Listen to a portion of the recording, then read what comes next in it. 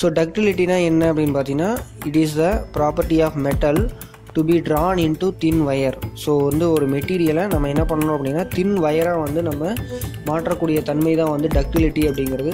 So இன்னும் எளிமையாக புரியணும் அப்படின்னு பார்த்தீங்கன்னா இந்த மாதிரி ரெண்டு ரோலர் வந்து ரொட்டேஷன் ஆகிட்டு இருக்கு. அந்த ரெண்டு ரோலருக்குள்ளே ஒரு மெட்டீரியலை நம்ம இன்சர்ட் பண்ணுறோம் ஸோ அப்படி இன்சர்ட் பண்ணும்போது பார்த்தீங்கன்னா அதுக்குன்னு ஏதாவது ஒரு திக்னஸ்ஸு இல்லைனா டயாமீட்டர் அந்த மாதிரி ஏதாவது இருந்துச்சு அப்படின்னா அது என்ன ஆகும்? கம்மியாகி அதில் பார்த்தீங்கன்னா ஒரு தின் வயராக வந்து கிரியேட் ஆகி வெளியில் வரும். சரிங்களா?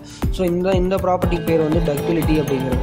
ஸோ ஒரு மெட்டீரியலை வந்து தின் வயராக மாற்றக்கூடிய தன்மை தான் வந்து டக்டிலிட்டி